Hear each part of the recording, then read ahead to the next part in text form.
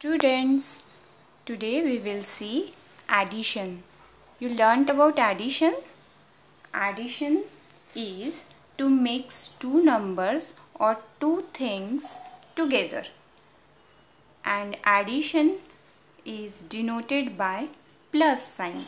This sign is of plus. Whenever you see this sign, so that time you have to remember you have to add two numbers. So let us see it by doing an activity. I have some Rajma beans. We will do addition activity by using these beans. It is very interesting.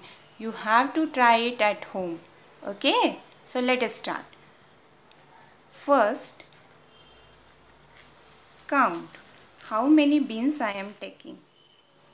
1, 2, 3 in first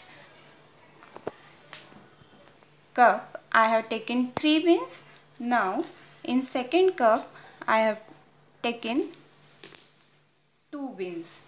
Now I told you plus sign means to mix two things together. So let us mix these two things together mm.